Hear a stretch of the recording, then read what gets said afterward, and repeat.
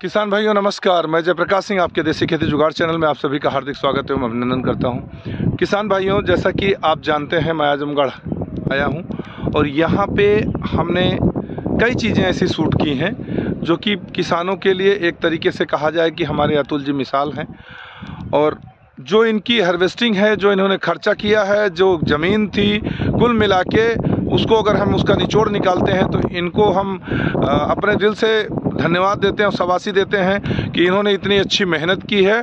और सबसे बड़ी बात यह है कि खुद कुछ नहीं करते हैं। ये भी बता दूँ, खुद कुछ नहीं करते, अभी फल तोड़ के तोड़ रहे थे, बस फल मक्खी लगा हुआ, बाकी कुछ नहीं करते, मैनेज करते हैं टोटल तो चलिए हम इनसे बात करते हैं और बताते हैं आपको कि जो इन्होंने कोहड़ा लगाया है, क्या इनका प्रॉफिट है, क्या नुकसान है कौन कौन से इसमें ट्रैप यूज़ कर रहे हैं, क्या जो है इन्होंने कैसे इसकी जो बाढ़ देख पा रहा हूँ कि बहुत अच्छी, आप पीछे देखिए मेरे, बाढ़ जो है बहुत अच्छी इनकी आई हुई है।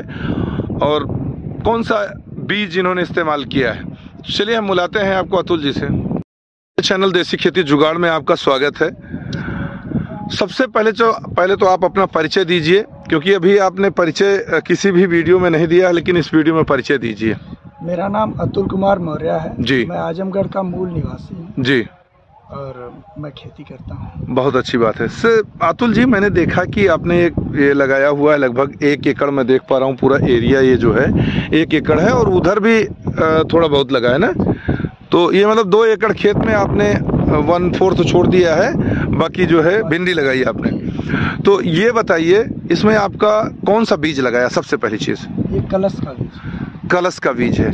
तो आपको क्या लगता है अभी इसकी हार्वेस्टिंग शुरू की आपने? हार्वेस्टिंग इसकी चल रही है छः सात तो कितनी साइज़ का आप तोड़ते हैं इसको थोड़ा दिखाइए साइज़ ये साइज़।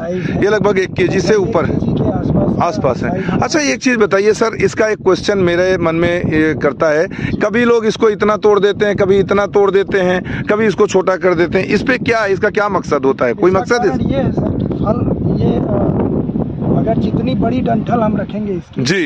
उतना ही ये हरा भरा ज़्यादा समय तक रह जाएगा। अच्छा। छोटी डंठल रखेंगे तो हम जल्दी ये मुरझा जाए। अच्छा मतलब इस डंठल का सबसे बड़ा फ़ायदा ये है रखने का कि जितना बड़ा रखेंगे उतनी देर में ये फल मुरझाएगा।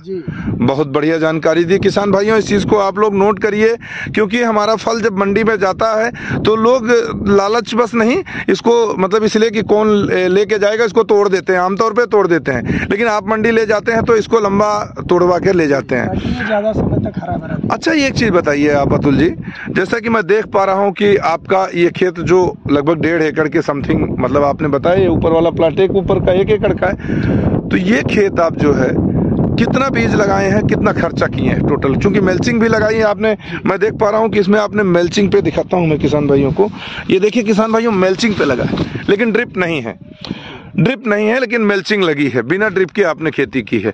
तो ये बताइए कि इस पे कोई फ़सल आपका प्रभावित तो हो रहा है या नहीं हो रहा है? नहीं मल्चिंग लगाने से तो बहुत ज़्यादा प्रभाव है। नहीं ड्रिप नहीं लगाने से। ड्रिप नहीं प्रभाव कोई विशेष तो नहीं। कोई विशेष प्रभाव नहीं है। किसान भाइयों इस चीज़ को समझिएगा कि हमारे अतुल जी बता रहे हैं कि अगर ड्रिप नहीं है आपके पास में तो भी आप मेल्चिंग पे खेती कर सकते हैं। खर्च हमारा जो है हम्म। तो सर एक टेक्निकल अब बात सवाल अब आ गया मेरे पास आपके लिए कि जैसे ये बेड दिख रहा है तो कद्दू रखिए सर आप ये बताइए कि यहाँ पे आप बीज अगर डालेंगे कद्दू के लिए तो कहाँ डालेंगे? जिससे कि उसको न्यूट्रिएंट्स वैल्यू भी मिले और पानी भी मिले।